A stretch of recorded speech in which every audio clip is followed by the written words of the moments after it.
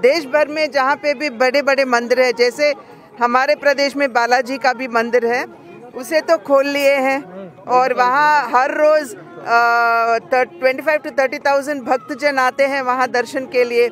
तो यहाँ जगन्नाथ जी का मंदिर नहीं खोलना ये खिलवाड़ है यहाँ के लोगों के साथ और हम बीजेपी की तरफ़ से हम डिमांड करते हैं जैसे आ, कि जल्द ही जल्द मंदिर को खुलवाएँ और इसी के साथ मंदिर के जो भी प्रॉपर्टीज़ होते हैं, हमें यहाँ ज्ञात हुआ कि यहाँ के जो जगन्नाथ मंदिर जी के जो भी